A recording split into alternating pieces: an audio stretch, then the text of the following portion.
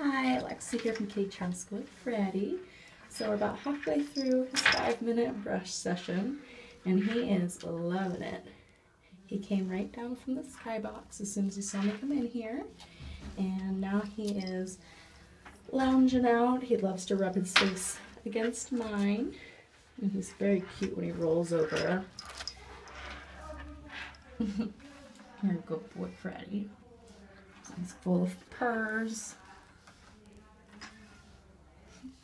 I feel good. We love you, Freddie. I especially love brushing Freddie because he's so sweet and so snuggly. You gonna fall asleep maybe? It's a good bedtime brush. Hmm. Kitty mail.